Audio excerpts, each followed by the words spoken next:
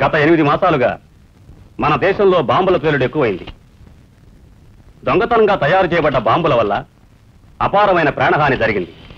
ఇటువంటి అరాచకాల వల్ల ప్రజలలో భయాందోళన ప్రభుత్వం మీద అపనమ్మకం ఏర్పడుతుంది. ఈ చట్టవిరుద్ధమైన కార్యాల వలన ప్రభుత్వ ప్రైవేటు కట్టడాలు ఎన్నో నాశనం అవుతున్నాయి ఇంతవరకు నలభై రెండు మంది చనిపోయారు నూట ఇద్దరు గాయపడ్డారు. చట్టవిరుద్ధంగా తయారు చేసే బాంబులు తీవ్రవాదుల చేతుల్లోనూ బందిపోట్ల చేతుల్లోనూ పడ్డం వల్ల రైలు పెట్టెలు సైనిక శిబిరాలు రైల్వే బ్రిడ్జిలు నాశనమైపోయాయి. ఇందువల్ల జననష్టం ఏర్పడింది.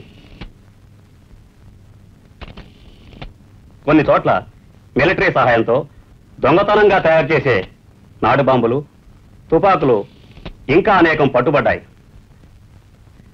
మ్యాక్కోడ్ ఎక్స్ప్లోజివ్ డైరెక్టరేట్ రిపోర్టు ప్రకారం ఆ నాటు బాంబులు ఉపయోగించే జెలిటన్ అనే కెమికల్ ఒక ప్రఖ్యాత కెమికల్ ఫ్యాక్టరీలో తయారవుతోందని తెలుస్తోంది. ఆ ఫ్యాక్టరీ మన ఊరిలో ఉంది శివకాశిలోనూ ఉంది.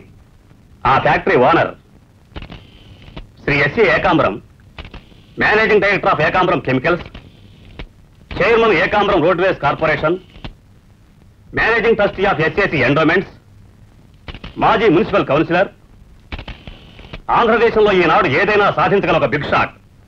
ప్రస్తుతానికి సందేహమే. ఇది నిజమో కాదో తెలుసుకోవడానికి ఒక వన్ మ్యాన్ కమిషన్ ఏర్పాటు చేశాం. ఈ రోజు నుంచి mister Vishwanath officer on special డ్యూటీగా appoint చేశాను.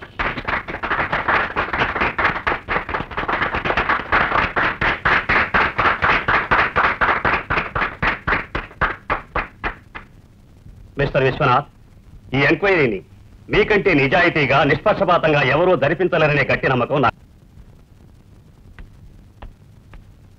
విశ్వనాథ్ గారు ఉన్నారా? నమస్కారం తమ్ముడు. నేను ఏకాంబరాన్ని. నిన్న ఈ కమిషన్కి చైర్మన్గా వేశారని విన్నాను. చాలా సంతోషం తమ్ముడు. నిన్ను స్వయంగా అభినందించి వెళదామని వచ్చాను.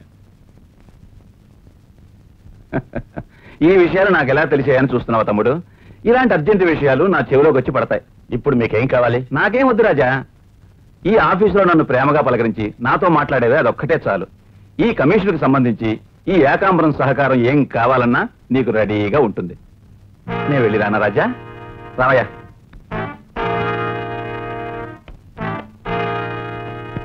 నారాయణ? నారాయణ? సార్. ఇక నుంచి ఆఫీసులోకి నా అనుమతి లేకుండా అతన్ని రానివ్వకూడదు. అర్థమైందా? సరే సార్.